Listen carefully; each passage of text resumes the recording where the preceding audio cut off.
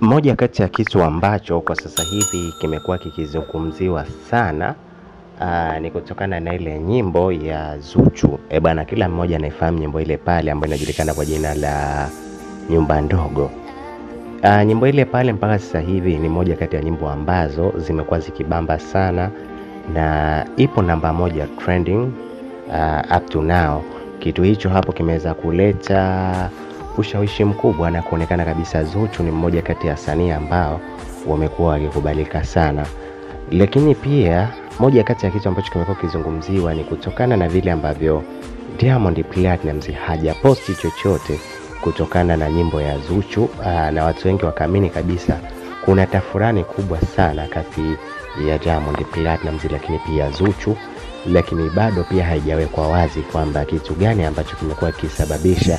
conflict ya Diamond Platnumz na Zuchu iweze kuhappen, bali inaonekana hawapo sawa, kwa sababu ni kweli kabisa Diamond hajaposti chochote mpaka sasa hivi kutokana na nyimbo ya Zuchu, kitu ambacho kimeanza kuwatia watu hofu, lakini pia mashabiki wamekuwa wakijawa na wasiwasi sana.